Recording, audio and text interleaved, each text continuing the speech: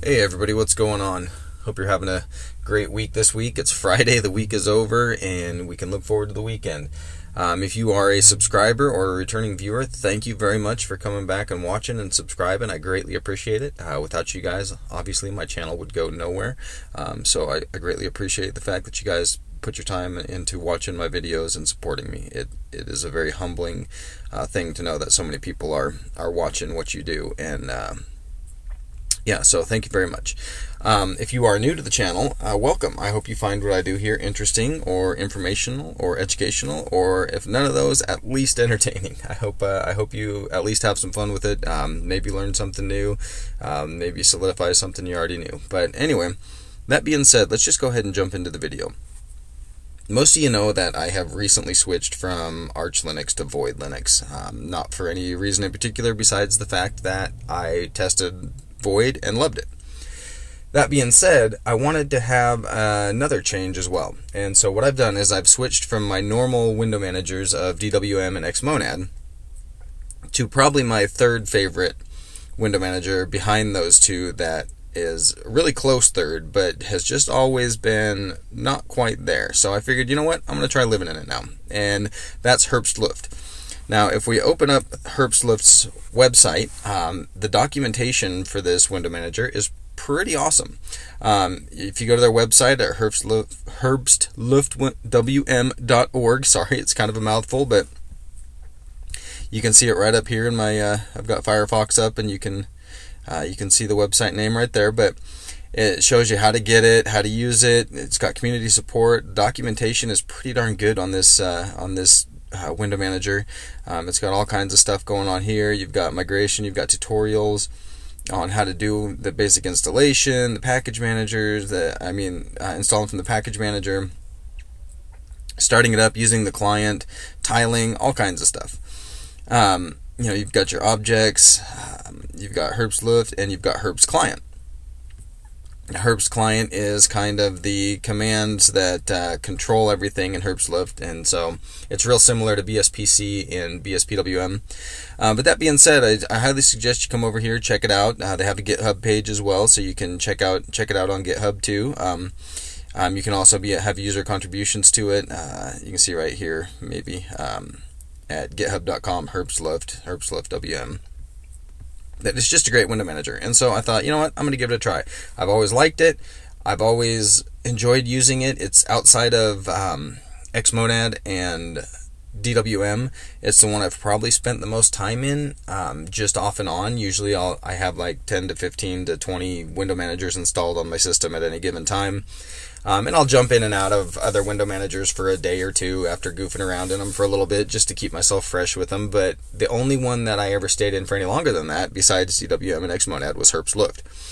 And I would live in that for a week or two at a time and then go back to DWM and Xmonad. Well, we're going to try and make this long term. You know, we've got a new distro, let's try a new window manager. So, that being said, um, the configuration file for Herbst Luft is really simple. Um, you just create a um, in your dot .config directory a herbstluft directory, and then in that directory you'll have a auto start file, which is just basically a bash script. And so I'm not going to go over this in depth right now because there's one certain thing I want to talk about in Herbst Luft that really sells it for me. Um, but you can see it's just a basic uh, shell script, uh, real simple syntax, really simple to understand, really simple to edit um, and to configure. So Again, I just highly recommend you check it out. That being said, I'm not big. Most people, when they use window managers, you know, they're all about manual tiling or dynamic tiling or, you know, whatever. The tiling portion of it, really honestly, isn't too big of a deal for me. It's not the tiling that I like window managers for, it's the workspaces. So if I'm going to have more than two, two tiles open in a window at any given time, I'm probably going to move some of those onto another workspace. Um, I don't like having a cramped screen and having to, scroll through stuff. That option is awesome on window managers, but I don't like having to do it myself. So another thing I like about Herbst Luft is the fact that the tiling, the layouts, is pretty basic. It, let's launch some windows here. We'll uh, let's launch uh, Firefox here, um, and then we'll launch Nemo and then we'll launch. What else can we launch? That's something that we can be. Uh, let's do this and do NCMP So, that being said, you can see that there's a couple different, there's only a couple different layouts on Herbstluft. This is going to be the main one that uh, is just kind of like i3, where it's just uh, oh, splits the screen, splits the screen again, splits the screen again. Um, you can toggle through them with your mod key and um, HJKNL or the arrow keys or whatever you set it up to be, um, or with tab, all your uh, mod key and tab. And if you hold mod key shift and tab, it'll go back through the other direction. Um, it's got this layout, which is just full screen, so or monad, um, or excuse me, monocle. Um, if you do mod tab, it just cycles through. Mod shift tab will cycle back through the other way. Um, so that's basic, and then it's got this, which is the grid. So again, if you do mod tab, you'll cycle through them. Mod shift tab will send you back through the other way. Um, you can swap windows with, I believe, Alt Shift and then whichever key you set up as um, I have my arrow keys set up but you, you, know if you use your mod key and shift and then your arrow keys you can move windows around that way um, and then there is the three stack or the stack um, so these are this is all that BSPWM comes, or excuse me, BSPWM. uh, this is all that Herbstluft comes with. I don't even know why I said BSPWM. I really have not used that all that much. I tried it one time. It was extremely slow, probably my fault, but I just never got back into it. So why I've got BSPM in my BSPWM in my head, I don't know. Anyway, that being said, um, as you can see, the four layouts for Herbstluft are pretty basic, and for me personally, they work perfectly fine. But the cool thing about Herbstluft is you, like I said, you have the three stack or the stack. You've got this uh, columns. Uh, you've got the uh, monocle, and you've got the grid. Those all work perfectly fine. But you also have another option. So let's close all these windows and kind of like in i3 where you can do your mod key and then I believe it's the H and the V keys to determine where your window is gonna your next window is gonna spawn, whether it'll be below or to the side. This is real similar to that, but basically I don't even have to have anything up and I can do, say, so let's see here. Say I open a terminal here and it's full screen, right? Well, let's close the terminal and say I hit mod O. Doesn't look like it did anything, right? Well, if I launch a terminal now, now I've split my screen 50 or 60 40. So if we look right, let me find it here. I don't remember where I'm at in my configuration file, but there is a Oh, right here.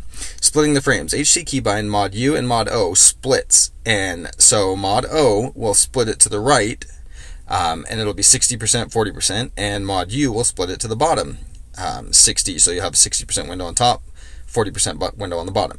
So you can split the screen. Once you split the screen, it's like each of those splits is its own screen. So if we go back to here, now I launch another window, and look, it stays in there and if I launch another window it stays in it goes on the bottom now I can cycle through the different layouts there on this side if I want to move to the other split then I hold my mod key and hit the arrow key to the right and that'll move me to the right split and then I can start launching stuff there and you can see we can cycle through it over there so it like splits the window into own their own separate little windows but again I don't like having a lot of windows and up up and going. So why are you, why would you think this is cool for me? Well, let me show you. Because what I like to do is if we close out all these windows and then you want to kill the split, it's mod R. So now we're back to a normal window. Basically, there's a couple of reasons that I like this, and I'm going to go over the one main reason right now. The main reason is because there's certain times when I'm using my computer, mainly when I'm doing my schoolwork, I like to be able to have my textbook open on the screen, and I also like to be able to have a notes, like a notepad, which I use Vim for my notes, but I like to be able to have a notepad open too. And I don't like taking up a whole lot of space with my notepad. And I've used the Scratchpad before, which if you watched my previous videos on Scratchpads, I am a firm believer in Scratchpads, which is another just a little hint that that's another video on Herbstluft I'm going to be going over is the Scratchpads on it because that's awesome. Or the Scratchpad, um, which is a little different than on most distributions, so stay tuned. But I've so I've used scratch pads, but constantly launching and closing the scratch pad as I'm trying to take notes and it's covering up the book on the stuff I'm trying to write. You know, it just kind of got hectic. And you know, yeah, I could split the screen and um, like say I do a mod O and I split the screen, right? Well, you can do I believe mod control and push your mod control and then use the arrow keys and you can grow and shrink the size of the split which is cool but it is kind of a hassle to have to do that every time you want to open up then you split the screen and then you make your other smaller window and you get everything set up you know that's just time consuming so what I have done is I've created these right here um, well, I shouldn't say I've created. I have edited these that I found online, but I'm going to try and build a script that is actually combines these two together. So I have one script. But basically, what these do is that Herbst client um, command that I talked about uh, here when we were in the documentation. And I went over Herbst and Herbst client, how I said it was kind of like BSPC. Well, that Herbst client command um, will basically store your layout for you if you use the dump command. So basically you could kind of set the windows how you want. So I could do like set my windows here and then we'll split it and we'll do this and then we'll go over here and we'll launch here and then we'll U and we'll go down here and launch. So I could have this layout and I could run a Herbst, sorry I'm sitting in my car and I can't see, client dump and then put the window information or whatever in there and it would store it. And so that is a kind of a workaround. If I wanted to create this and then have it set up so I could just do it and everything, and then if I change workspaces, just type that. But again, that's a lot of work. So basically, what I've done is with those two scripts, what we've done is say I am on a workspace and we are going to get rid of the splits. So I've got a whole workspace here, right? No splits on the screen whatsoever. Now, say I want to create a custom workspace for just when I'm doing my school. Well, okay, let's see here. I like to do things underneath there. So here's what we'll do. Say I want to have, so we'll close that and let's open Firefox because that's where I go to school. And so, okay, this is where my textbooks would be in. It would be in Firefox. Um, I would have my textbook open on the web page that I'm going through and everything. And down here, I would like to have this just real narrow and I like to have a terminal up and then I clear it and there we go and so then I can vim say chapter 4 notes so now I've got my notes open down here and I have my textbook open up here and I'm reading and I can be down here typing as I'm reading and everything's great. Well again, do I want to have to set this up every time that I log into my system? No. So basically, what we can do is if I run that, I have it set up, these two scripts here. This one here is um, called my new layout, and this here is called load layout. So if I run my new layout script, which I basically have set up to a hotkey, so I have this all set up here, and I do my mod key, and I hit S. Now I get this D menu right up here, this D menu prompt that comes up that asks me what my layout name is. So let's just call this one school. Actually, we'll call it school 123 because I don't know if I have another one already created named school. and we hit enter. Now, doesn't look like it did much of anything, right? Well, let's go ahead and close that. Let's close the split and quit. So now you can see we're back into our normal full screen mode. Now, if I want to, okay, I've opened up my machine. Okay, now I'm going to be going to my school. So what do we want to do? Uh, let me press Alt L, which is load. And oh, look, there's school 123 right there. What that does is it stores this, and I hit enter, and now, boom, I have my split that I created originally. All I have to do is go up here, launch my web browser, and I am good to go with that same split that I had. So it saves your layout.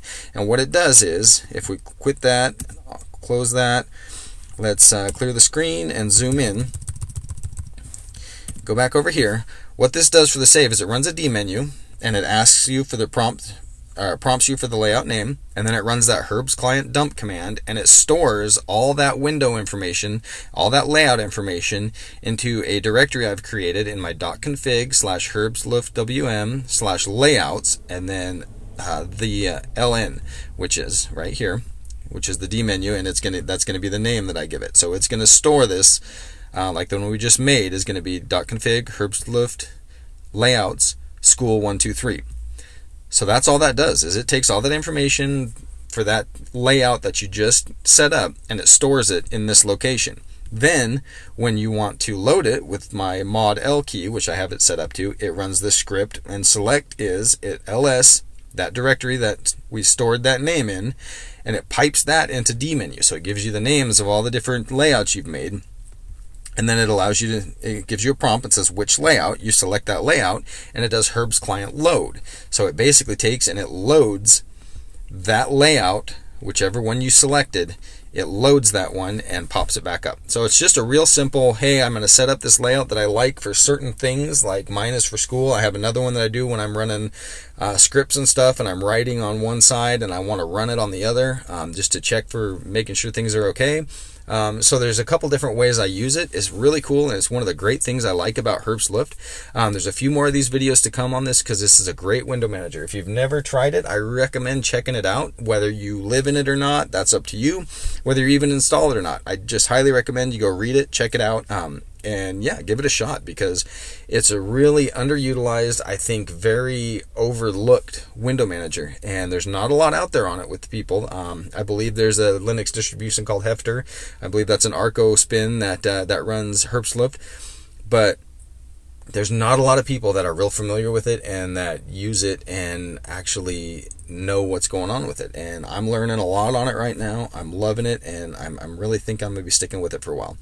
Um, I'm gonna go over. I've got a few more videos on it coming up, so stay tuned if you if you like this and you think it might be something you're interested in. So yeah, I hope you guys have a great weekend and uh, enjoy your time off and rest and, and spend some time with your families and friends. And yeah, just have a great time.